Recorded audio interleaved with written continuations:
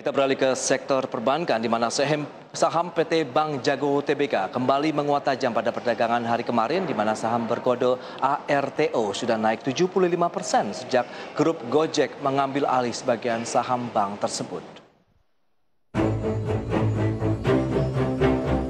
Saham PT Bank Jago TBK meningkat di tengah pelemahan sebagian besar saham perbankan pada perdagangan kemarin. Tercatat selama satu minggu emiten dengan kode saham ARTO telah mengalami penguatan 69,53 persen. Hingga perdagangan hari ini, ARTO berhasil sempat menguat di level 7.175. Sejak awal tahun, saham ARTO telah menguat 61 persen. Saham Bank Jago makin moncer setelah Gojek lewat anak usaha PT Dompet Karya Anak Bangsa mengakuisisi 1,95 miliar saham Bank Jago senilai 2,25 triliun rupiah pada 18 Desember 2020 lalu. Sekedar informasi, saham Bank Jago sudah melesat sejak pertengahan 2020.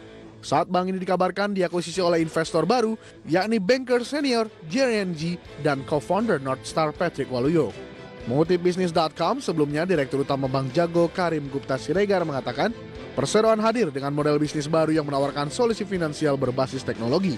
Kebutuhan layanan keuangan yang serba digital disebut meningkat seiring dengan kondisi pandemi yang membatasi aktivitas masyarakat. Berbagai sumber, IDX Channel.